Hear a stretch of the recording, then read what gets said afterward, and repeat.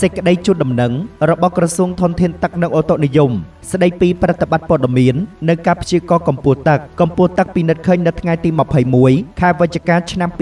2023តាមបណ្ដាស្ថានីយជលសាស្ត្រទន្លេមេគង្គស្ទឹងត្រែងទឹកមានកម្ពស់4ម៉ែត្រ6សង់ទីម៉ែត្រទាបជាងម្សិលមិញ12សង់ទីម៉ែត្រកម្រិតប្រកាសអាសន្ន10ម៉ែត្រ70សង់ទីម៉ែត្រទន្លេមេគង្គក្រចេះទឹកមានកម្ពស់10ម៉ែត្រ59សង់ទីម៉ែត្រទាបជាងម្សិលមិញ2សង់ទីម៉ែត្រកម្រិតប្រកាសអាសន្ន22ម៉ែត្រទន្លេមេគង្គកំពង់ចាមទឹកមានកម្ពស់6ម៉ែត្រ16សង់ទីម៉ែត្រទាបជាងម្សិលមិញ16សង់ទីម៉ែត្រកម្រិតប្រកាសអាសន្ន15ម៉ែត្រ20សង់ទីម៉ែត្រទន្លេបាសាក់ចតុមុខទឹកមានកម្ពស់5ម៉ែត្រ21សង់ទីម៉ែត្រទាបជាងម្សិលមិញ14សង់ទីម៉ែត្រកម្រិតប្រកាសអាសន្ន10ម៉ែត្រ50សង់ទីម៉ែត្រទន្លេមេគង្គអ្នកលឿងទឹកមានកម្ពស់3ម៉ែត្រ92សង់ទីម៉ែត្រទាបជាងម្សិលមិញ6សង់ទីម៉ែត្រកម្រិតប្រកាសអាសន្ន7ម៉ែត្រ50សង់ទីម៉ែត្រទន្លេបាសាក់កោះខែទឹកមានកម្ពស់4ម៉ែត្រ85សង់ទីម៉ែត្រទាបជាងម្សិលមិញ12សង់ទីម៉ែត្រកម្រិតប្រកាសអាសន្ន7ម៉ែត្រ90សង់ទីម៉ែត្រទន្លេសាបព្រៃក្តាម